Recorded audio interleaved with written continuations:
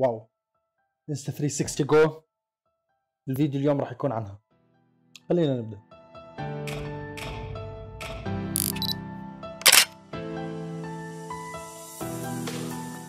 ال quality اللي طالعه من هاي الكاميرا جدا عالية. لدرجة إنه ال sensor فيها ما بيقدر يسجل أكثر من 15 أو 30 ثانية maximum هلأ في option معين بخليه يصور لحد خمس دقائق لكن حاطين ملاحظة إنه لازم يكون في تبريد وراها أو مروحة مشان تبرد ال sensor اللي فيها. لأنه أنت لما تحكي خمس دقائق على هاي الجودة جدا عالية ال sensor بنحرق يعني بذوب. ما بنقدر نحكي إنه هي main camera ما بتقدر تستخدمها ككاميرا رئيسية.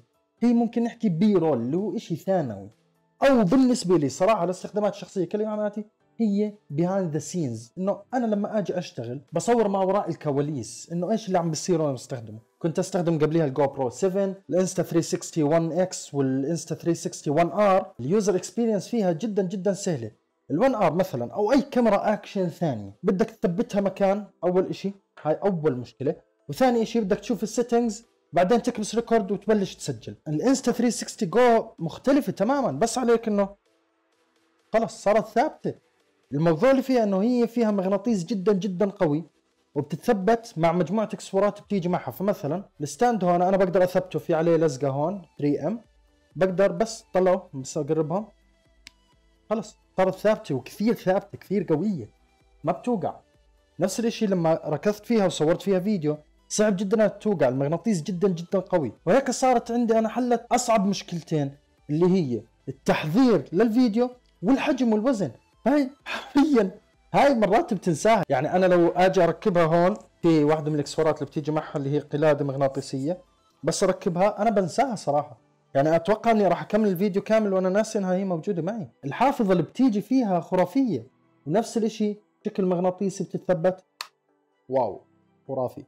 وبتسكر عليها. تقريبا زي محفظة ال Galaxy Buds عندي. يعني يمكن الحجم نحكي أكبر ممكن الضعف أو نص.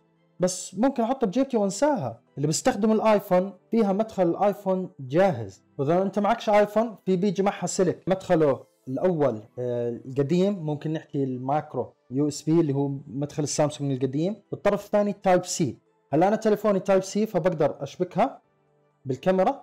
وأول ما أشبكها بيشتغل تطبيق ال Insta 360 Go. فبفتح تطبيق ال Insta 360 Go. لحاله بيعمل نسخ لل videos من memory الكاميرا للتليفون وبعد هيك بشطبهم الكاميرا. هذا ال option أنا مفعله إنه يشطب كل شيء بعد ما ينقله. وخلصت الموضوع.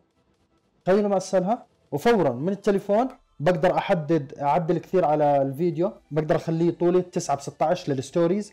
أو نفس الفيديو أحوله ل 16 ب 9 بالعرض ممكن لليوتيوب. هسه إذا بدي أصور فيه إلى آخره. نحكي هلأ عن الإكسسوارات اللي بتيجي بالكرتونه الكرتونه راح يجي فيها الحافظة واللي هي بنفس الوقت بتشتغل ك power bank للكاميرا ك protective case كحامي إلها للكاميرا كمان. القاعدة وهاي القاعدة بتتلزق وكمان إلها برغي اللي هو ربع إنش. هذا البرغي الربع إنش standard لكل الكاميرات لأي شيء ممكن تستخدمه.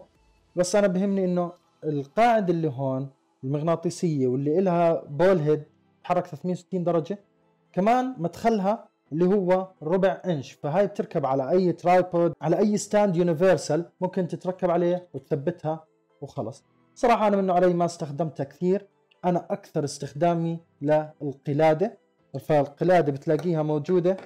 وانتبهوا مكتوب ملاحظة أن الجزء السكني منها الجراي لازم يكون باتجاه جسمك. فأنت بدك تثبتها بهذا الشكل. وعليها أنا لما أمشي أو أكون بأي مكان تقدر توسعها تضيقها براحتك. أنا بس بدي أوسعها شوي.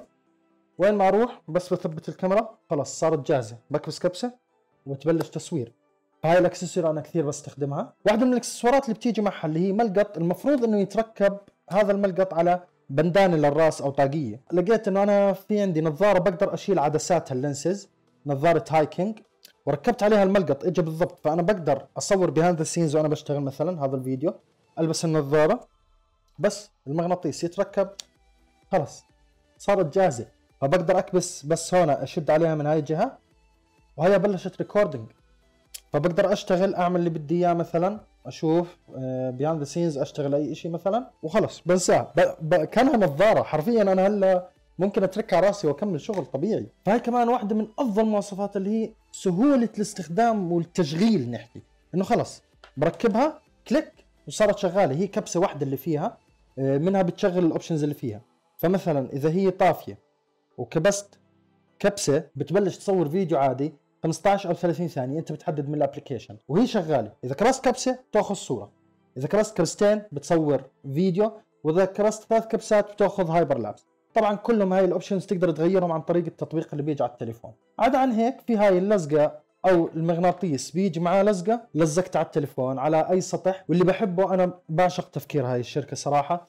إنه كاتبين ملاحظة إنه إذا شفت هاي اللاصق بطل يلزق معك. بس اغسله بمي وبتقدر ترجع تستخدمه. اللي معاه كاميرات ال GoPro بيعرف إنه إذا استخدم القاعدة اللي معها اللاصق ال 3M إذا شالها خلص خربت بقدرش يرجع يستخدمها بده يغير ال double face اللي عليها. بس هون فكروا بهذا الإشي حتى كاتبين لك إنه خلي ال label هذا موجود مشان تحمي اللزقة من هون.